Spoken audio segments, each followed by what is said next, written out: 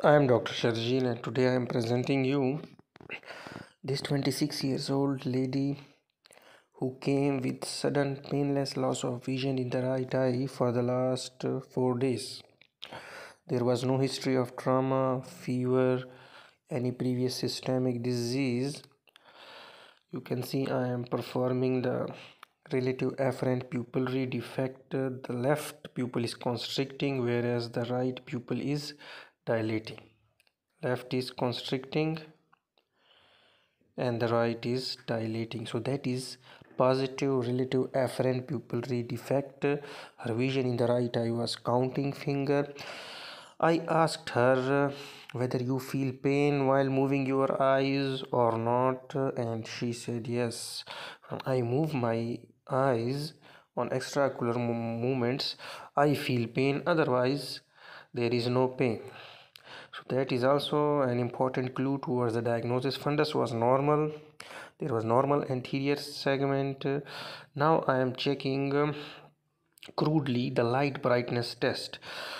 I told her that uh, assess how much light is feeling in the left eye which is normal eye 66 and now in the right eye. And she said that uh, the light was very bright in the left eye but in the right uh, it's very dim. So diminished uh, decreased light brightness in the right eye as well. And then I checked her color vision and color vision was also impaired in the right eye. So the history and um, examination lead me to the diagnosis of retrobulbar optic neuritis in a young female patient. I advised her mr brain to look for periventricular plaques um, and esr here i am performing crudely the color vision test uh, in right she was unable the vision was also decreased counting finger but she was uh, seeing a very pale color instead of bright red whereas in the red in the left eye she was assessing the brightness of the red color.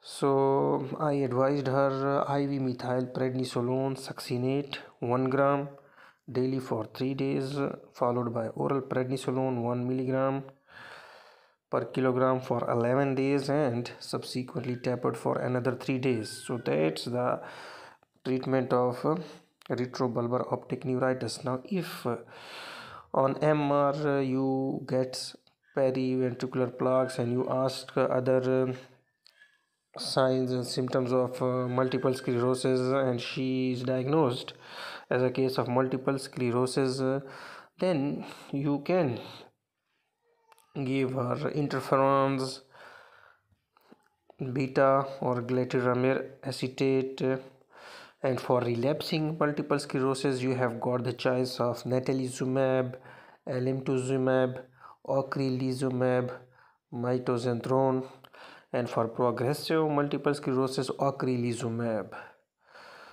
So that was all about this case uh, and you can be asked uh, in the exams about the grades of relative afferent pupillary defect. So it is divided into four grades grade one, grade 1 plus a weak initial constriction followed by greater redilation grade 2 plus an initial pupillary stall followed by greater redilation grade 3 plus an immediate pupillary dilatation and grade 4 plus no reaction to the light amaurotic pupil.